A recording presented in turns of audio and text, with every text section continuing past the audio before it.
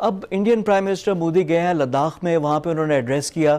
लेकिन बहादुरी का ये आलम कि चाइना का नाम तक लेना उन्होंने, वो बहादुरी का मुजाहरा नहीं कर सके कि वो ले सके। इतनी हिम्मत नहीं हुई उनमें। अब वहाँ पे जब विज़िट करके आए तो इंडियन एयरफोर्स की तरफ़ से एक जहाज़ों का ऑर्डर गया है। तैंतीस नए जहाज़ वो रशिया से ख़रीद रहे हैं। मामला अब चाइना और इंडिया का है, अब रफ़ाइल तैयारा जो था, क्योंकि इन्होंने नहीं लिए थे रशिया से तैयारे। ये रफ़ाइल के रफ़ाइल फ्रेंच तैयारे हैं, वो आ रहे हैं। लेकिन इतने महदूद टाइम में जब उनको नहीं मिल रहे, चीज़ें आ रही हैं तो शॉर्ट टर्म के लिए, चाइना के लिए और अपनी कौम को खुश करने के लिए उन्होंने एक इमरजेंसी में ऑर्डर किया है। ना सिर्फ़ तैंतीस जहाज़ों का, बल्कि दो सौ इंडिजनस जो मिज़ाइल हैं एस्ट्रा वो भी ऑर्डर किया है इन्होंने और स्पेसिफिक उसकी रीज़न है चाइना लेकिन फिर आना तो पाकिस्तान के हिस्से में या मुकाबला तो पाकिस्तान से ही है उनका तो कहीं ना कहीं हमारे खाते में ये चीज़ें आएँगी। तो ये हो क्या रहा है रीजन में? चाइना इंडिया की जो टेंशन हैं, पाकिस्तान का क्या इसमें रोल होगा? फिर पाकिस्तान की जो एयरफोर्स है, अभी तक जो पॉइंट ऑफ़ डिफरेंस है पाकिस्तान इंडिया में, वो हमारी एयरफोर्स हमेशा एक डिसाइसिव रोल प्ले करती है। तो ये सारी सूरत हाल है, इस पर गुफ्तु करेंगे। एयर मार्शल शाहिद लतीफ़ हमारे साथ मौजूद हैं उनसे गुफ्तु करते हैं। शाहिद लतीफ़ साहब सलामकुम and welcome to the show जी वालेकुम अस्सलाम थैंक यू एयर मार्शल साहब ये जो इंडिया की जो स्ट्रैटेजी है तैंतीस नए जहाज़ जो ख़रीद रहा है और रशिया की तरफ़ जा रहा है। हम खबरें सुन रहे थे कि रफ़ाइल आ रहा है बाकी जहाज़ आ रहे हैं मॉडर्नाइजेशन हो रही है। ये पैनिक में क्यों इंडिया जा रहा है? दोबारा रशिया की तरफ़। और जो ऑर्डर किया है इसमें तकरीबन 21 के करीब जो जहाज़ है मिग 29 है, पुराने जहाज़ हैं। 12 सू 30 यानी सुखोई 30 है, वो ऑर्डर कर दिया। तो ये हो क्या रहा है इंडिया में? देखें, ये जो दोबारा से रशिया की तरफ़ जा रहे हैं, उसकी एक ऑब्वियस रीज़न है। नया जहाज़ इंडक्ट करना और उस पर पायलट्स को ट्रेन करना, उनको एक लेवल पर लेकर जाना, ताकि वो कॉम्बैट रेडी हों, ये एक बड़ा लंबा प्रोसेस है। वो वो इतनी जल्दी वो पूरा नहीं कर सकते। वो उसी चीज़ पे डिपेंड कर रहे हैं। कि चूँकि हम मिग 29 भी उड़ाते रहे हैं, उनके यहाँ वो ऑपरेशनल हैं और फिर सू थर्टी की बात हो रही है। बात ये है कि ये कोई नई चीज़ नहीं है हमारे लिए। जो हमने 27 फरवरी को किया था, वो तो सबने देख लिया और उनका जो मिग 29 भी हमने गिराया था, वो भी सबने देखा। तो अब ये रफ़ाल की बातें शुरू हो गई। ये पहले भी एक प्रोग्राम में मैं कह चुका हूँ कि रफ़ाल हो या कोई और जहाज़ हो ये सब फोर्थ जनरेशन जहाज़ हैं और हमारा जे एफ़ सेवनटीन भी फोर्थ जनरेशन है। वो फोर्थ जनरेशन दुनिया में उसको प्लस कहते हैं यानी फिफ्थ और फोर्थ जनरेशन के दरमियान में है। तो इसलिए वो रफाल का भी मैंने कहा था कि वही हाल होगा जो आपके मिग 29 का हुआ। मिग 29 था या सू 30 था? मेरा ख्याल सू 30 था। जी सर। तो वो कोई जिसको आप नया जहाज़ यानी उनकी उनकी इन्वेंट्री में वो लेटेस्ट जहाज़ है, जिसको आप नया बनाकर दुनिया की आँखों में धूल झोंकने की कोशिश कर रहे हैं, दुनिया नहीं, बल्कि अपनी ही पब्लिक की। उनको ये बताकर कि एक नया जहाज़ आएगा तो हम पाकिस्तान से ऊपर हो जाएँगे, ऐसा हरगिज़ नहीं होगा। हम बैटल हार्डन 65 तो खैर बहुत पुराना है, जो 27 को एक ही दिन में हमने किया, उसको पूरी दुनिया ने रिकग्नाइज किया तो वो कोई नई बात नहीं है। लिहाजा ये सिर्फ़ जहाज़ ख़रीदने से आपकी एयर फोर्सेस बेहतर नहीं हो जाती। जहाँ तक उनका ओवरऑल फ्लीट का ताल्लुक है, वो सारे फ्लाइंग कॉफन्स हैं। वो उसको, उनके लोग जो हैं, वो कह चुके हैं पहले ही। इन्होंने अपना एक भी एक जहाज़ बनाया था एलसीए उनको इनकी एयर फोर्स ने ख़रीदने से इनकार कर दिया। जबकि अल्हम्दुलिल्लाह, हमने जे एफ़ सेवनटीन बनाया, हमारी एयर फोर्स में पुराने जहाज़ों को बाकायदा वो रिप्लेस भी कर रहा है। और अब दुनिया भी उसकी तरफ़ मतवजो है। कौन सा दुनिया का एयर शो है जो अच्छे से अच्छा हो और उसमें जे एफ़ सेवनटीन को इन्वाइट ना किया जाता हो? क्या उनके भी एलसीए को किसी ने इन्वाइट किया? वो तो अपना मुल्क भी उसको देखने के लिए तैयार नहीं। जी शायद साहब, ये सारी चीज़ें प्राइड है पाकिस्तान की, सब कुछ है, लेकिन मेरा अब सवाल है कि India Indian air force vis-a-vis Chinese air force क्योंकि अब इंडिया चाइना के लिए चीज़ कर रहा है तो इंडिया और चाइना की एयरफोर्स का क्या कंपैरिजन है? अगर आप एयर सुपीरियरिटी को देखें, जहाज़ों को देखें तो उनका मुकाबला कैसे हो रहा है?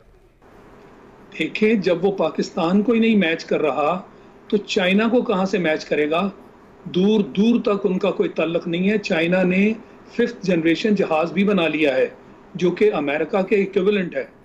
लिहाजा चीनी एयरफोर्स के करीब करीब भी भारत की एयरफोर्स नहीं फटक सकती और ना उसको कंपेयर किया जा सकता है। और ये चंद ही दिन में उनका नशा उतर गया। आप देख रहे हैं कि कैसे वो मिन्नत समाजत करके वो जो बॉर्डर पे उनका क्लैश हुआ, उससे वो पीछे हटे हैं। फिर उनको किस तरह चाइना ने बुरी तरह मारा है? और चाइना ने जो वार्निंग दी है, उस वार्निंग के तहत उनका नशा चूर हो चुका है। और कहाँ वो टू फ्रंट जंग की बातें करते थे, ये सिर्फ़ अपने लोगों को बेवकूफ़ बनाने के लिए, ये मोदी हुकूमत है, जो जब भी मुल्क में हंगामी हालात होते हैं, हर मुख्तलिफ़ फ्रंट्स पे नाकामी होती है तो वो एक नया महाज खोलते हैं, और उनके पास महाज पाकिस्तान ही है, उसी की तरफ़ लोगों की तवज्जो जो है वो की जाती है, ताकि वो असल मसाइल से उनकी तवज्जो हटाई जाए। जी एयर मार्शल शाहिद लतीफ़, बिल्कुल ठीक बात करें, और पाकिस्तान एयरफोर्स जो है, वो पॉइंट ऑफ़ डिफरेंस है पाकिस्तान और इंडिया के दरमियान। और ये वजह क्या है इसकी कि चाहे 65 हो 71 हो 99 कारगिल में भी हमने इंडिया का जहाज़ गिराया था। उसके बाद आप देखें 27 फरवरी क्लासिक एग्जांपल है क्लासिक केस है। तो पाकिस्तान और इंडिया का जो जब भी कंपैरिजन आता है तो एयरफोर्स एक पॉइंट ऑफ़ डिफरेंस होती है। उसकी क्या वजह है? वो इसलिए कि ये बात ये है कि सिर्फ़ जहाज़ों से तो जंग नहीं लड़ी जाती। हमारे पायलट्स के पीछे एक जज्बा ईमान है, शहादत का जज्बा है। हमें डर नहीं है मौत से। ये बनिए जो हैं, ये तो मौत से डरते हैं, ये क्या लड़ेंगे? इन्होंने आपको याद होगा, जब पार्टीशन का टाइम भी था तो सिखों को आगे किया था। अभी एक सिख लीडर को चंद दिन पहले वो मेरे साथ एक प्रोग्राम में था और उसने एडमिट किया कि हमें मुसलमानों से लड़ाया, हमें आगे किया। हमें वो भी गलती नहीं करनी चाहिए थी। अब वो खालिस्तान के सिलसिले में आपके साथ खड़े हैं। और ये मौका है, ये चीन वाला भी एक मौका है। क्योंकि ये जो बात हुई है लद्दाख वाली, ये चाइना का मुकाबला बिल्कुल नहीं कर सकते और ये मौका है क्योंकि लद्दाख को भी पार्ट ऑफ़ यूनियन उन्होंने डिक्लेयर किया है। तो मेरे ख्याल में पाकिस्तान को एक ऐसी स्ट्रेटजी बनानी चाहिए जिसमें चीन के साथ मिलकर कश्मीर और लद्दाख वाला मामला उसको कंबाइन किया जाए। दोनों एरियाज़ को उन्होंने यूनियन डिक्लेयर किया है। तो ये दोनों अकवा मुतहदा की करारदाद के ख़िलाफ़ हैं। लिहाजा इसको एक कम्बाइंड केस बनाकर हमें आगे आना चाहिए। एक सन बासठ में हमने गलती की थी और एक फिर से हम गलती करने जा रहे हैं। पाकिस्तान की जो फॉरेन पॉलिसी है, उसको हमें बैठकर सोचना चाहिए और ये एक मौका है चीन के साथ मिलकर ये मामला, जो अवामी, जो बैन अवी मामला इस वक्त सूरत इख्तियार कर सकता है, उसको बैन अवी तौर पर हमें रेज करना चाहिए। शायद साहब सारे कोट करते हैं कि जो चाइना का रिस्पांस है, जो इंडिया को दिया है, इंडिया को वही बोली समझ में आती है। तो जो हम लोग बाकी डिप्लोमेटिकली इंगेज करते हैं, बाकी करते हैं, उसका कोई खातर ख्वा असर नहीं होता। तो क्या जो चाइना वाली स्ट्रैटेजी है, क्या पाकिस्तान को भी वही अपनानी चाहिए? और फिर खत्े में क्या हो क्या रहा है? कि यूएस के इन्वॉल्वमेंट की बात होती है, अफ़गानिस्तान से उसके एग्जिटस की बात हो रही है, फिर चाइना और इंडिया जो आमने सामने आ रहे हैं, किसी की शय पे हो रहा है। तो what is happening in the region देखें, ये जो डायनामिक्स चेंज हो रही है, इसका एक ही सेंटर है। और वो सेंटर है कंटेनमेंट ऑफ़ चाइना जिसको आप स्ट्रेटेजिक टर्म में सर्कुलेशन ऑफ़ चाइना भी कह सकते हैं। और ये मकसद किसका है? ये अमेरिका का है।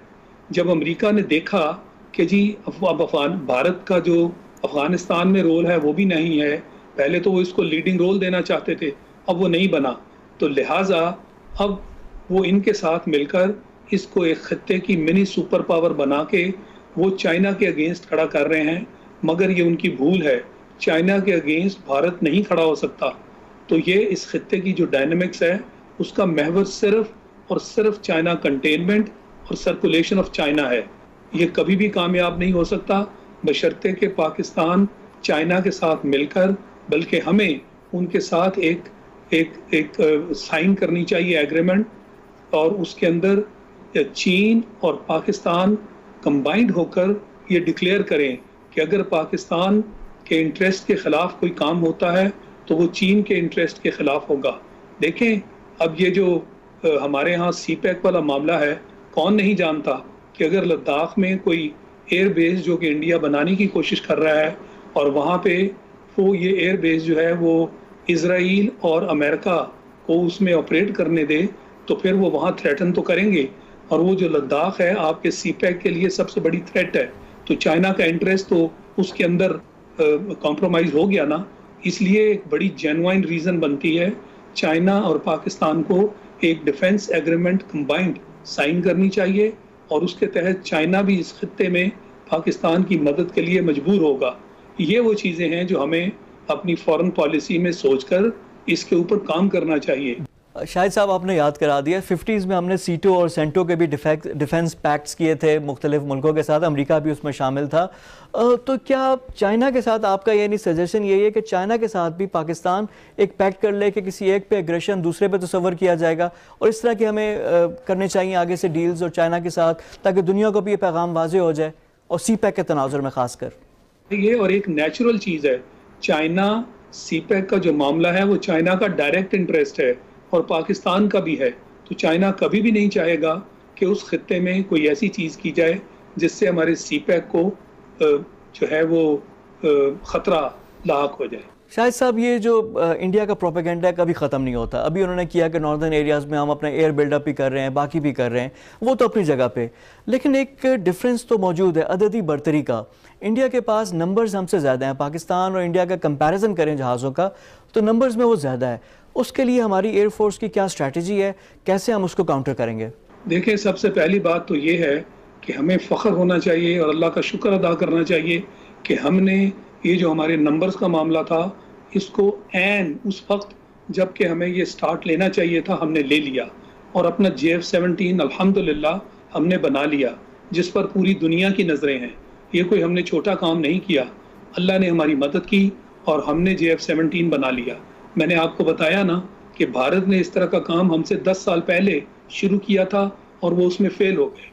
अब जितने भी जहाज़ हैं, हमारा जो प्लान है, वो जे, जितने भी पुराने जहाज़ हैं हमारे, वो चूँ चूँ रिटायर होंगे जे एफ़ सेवनटीन उनको रिप्लेस करता जाएगा। सौ से ज़्यादा जहाज़ J F seventeen already air force में ऑपरेशनलाइज हो चुके हैं। तो भारत जो है, वो कभी फ्रांस की तरफ़ भागता है, कभी रूस की तरफ़ भागता है, हमें तो वो मसला नहीं है। हमारे तो अपने हाथ में है। जितने जहाज़ चाहेंगे, हम बनाएँगे और रिप्लेस करते जाएँगे पुराने जहाज़ों को। तो हमारे कहीं पे भी कोई गैप नहीं होगा। तो नंबर्स का मसला हमें नहीं घबराना चाहिए। और दूसरी बात, जैसे मैंने कहा कि क्या 65 में हमारा नंबर्स में हम कंफर्टेबल थे? क्या 27 तारीख को नंबर्स में क्या हम कंफर्टेबल थे? हमने उसके बावजूद जो नतीजा पैदा किया, वो आपके सामने है। अल्हम्दुलिल्लाह। तो भारत नंबर्स की गेम अगर सिर्फ़ खेलता है, चलाने वाले तो वही है ना। फ्लाई करने वाले वही हैं, वो डिफरेंट नहीं है। तो ये हमारे आजमाए हुए हैं कोई नई बात नहीं है हमारे लिए। बहुत शुक्रिया आपका शायर लतीफ़ साहब। हमारे साथ मौजूद थे एयर मार्शल रिटायर्ड शायर लतीफ़।